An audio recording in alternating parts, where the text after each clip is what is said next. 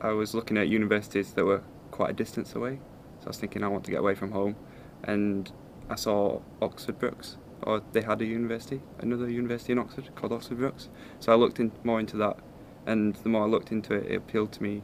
The quite a student city, so obviously there was lots of things to do, and the course really like really appealed to me.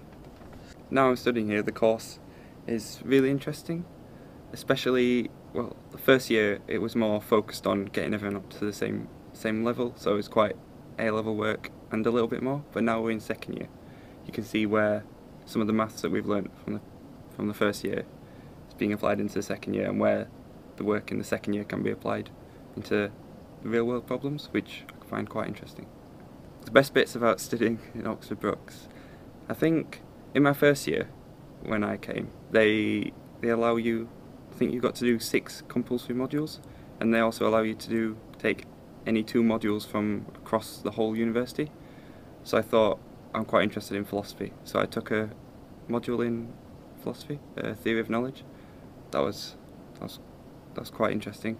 The number of societies that they've got on offer as well, especially sports wise. I think I joined the rowing uh, rowing club in my first year, and I think they're the best.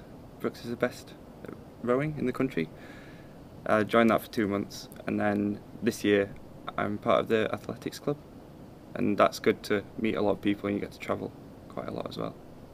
I would advise people when applying to universities to definitely definitely compare each university that you're wanting to come to down to accommodation, uh, the course, what city's like. I think Oxford Brookes is one of the best in the country. I think for the the reputation that Oxford has got as an educational city, and also when uh, when looking at modules in each course, I think Brookes does outline in detail like everything that they teach in each, in each module. We're in the process of setting up a mathematics society.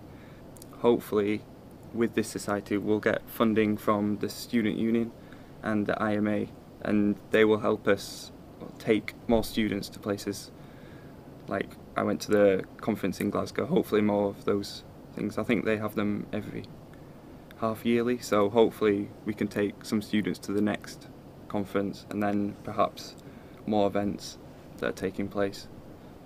Uh, another good thing about Oxford Brookes universities, especially the maths department, they offer external lectures.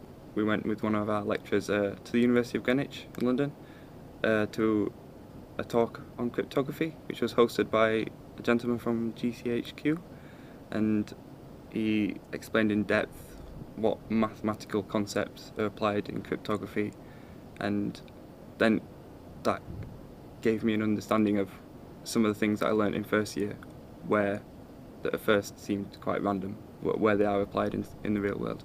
I think that's really helpful. And with the Math Society, hopefully, we're going to uh, set up more of these external lectures and hopefully attract more people.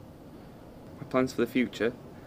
Uh, recently, I went to a conference in Glasgow, the IMA, and I think a lot of the a lot of the presentations given by the other mathematicians who had graduated and were working or doing a PhD, most of them had absolutely no idea what they wanted to do, and that's pretty much where I am. So going to that made me a lot more relaxed, knowing that it's okay not to know what I want to do. But a kind of rough idea is perhaps do a masters in mathematical sciences.